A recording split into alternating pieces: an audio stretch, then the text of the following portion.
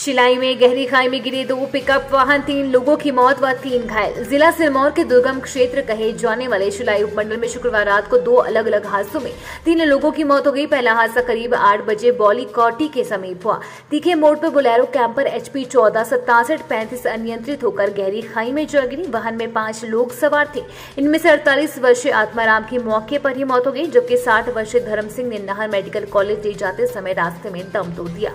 इसके अलावा सुरेंद्र कुमार लाइक राम व टीका राम गंभीर रूप से घायल हैं। जिन्हें शिलाई अस्पताल में प्राथमिक उपचार के बाद doctor Y S Parmar medical college Nahan refer कर दिया गया है।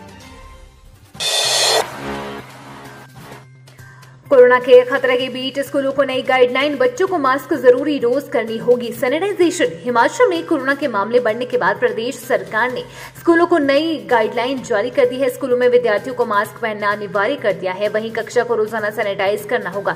उच्चतर शिक्षा विभाग के निदेशक डॉक्टर अमरजीत शर्मा ने आदेश जारी कर दिए हैं। स्कूलों को निर्देश दिए गए हैं कि कोरोना से बचाव के लिए बनाए शारीरिक दूरी के नियम का सख्ती से पालन करें। स्कूल में किसी भी तरह की भीड़ न लगे, इसका खास ध्यान रखा जाए। खेलकूद, प्रतियोगिताएँ एवं अन्य कार्यक्रम के आयोजन से बचे।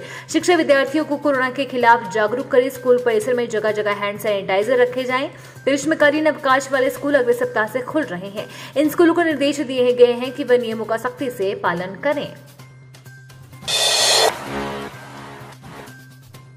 हिमाचल में अधिकारियों और कर्मचारियों के तबादलों पर फिर लगी रोक। हिमाचल प्रदेश में अधिकारियों और कर्मचारियों के तबादलों पर फिर रोक लगाई है। सामान्य तबादलों पर 10 दिन के लिए मिली छूट अब समाप्त हो गई है। अब से पुरानी व्यवस्था के तहत तबादले करवाने के लिए मुख्यमंत्री की मंजूरी लेना ज़रूरी हो गया है। अठारह से सत्ताईस जुलाई तक प्राप्त हुए तबादला आवेदनों पर विभाग में काम करना शुरू कर दिया है। अगले सप्ताह से चयनित किए गए तबादला आवेदनों के आदेश जारी होंगे। अब टैबलेट से भी होगा कोरोना का इलाज। सीडीएसयू ने आपातकाल में इस्तेमाल को दी मंजूरी। देश में कोरोना का इलाज गोली से भी होगा। केंद्रीय दवा मानक नियंत्रण संगठन ने आपातकाल में इस्तेमाल करने के लिए कोविड टैबलेट को मंजूरी प्रदान की है। हैदराबाद की जनरा फार्मा को इस दवा उत्पादन की मंजूरी मिली है। ये निर्माला ट्रेलवीर और तोनवीर टैबलेट के निर्माण और विपणन के लिए एक कॉम्बी बैग में है। यह दवा कोरोना के हल्के से मध्यम लक्षणों वाले रोगियों के उपचार के लिए विकल्प के रूप में है। बाज़ार में इसे पैक्सीजन ब्रांड के तहत बेचा जाएगा। इस दवा का उत्पादन यूएसएफडीए द्वारा अनुमोदित संयंत्र में किया जाएगा। इससे पूर्व सीडीएससीओ ने दिसंबर 2021 में एंटीवायरल कोविड 19 गोली मोलनू पीरवीर को मंजूरी दी थी। यह दवा भी कोविड के हल्के लक्षणों में इस्तेमाल की जा सकती है।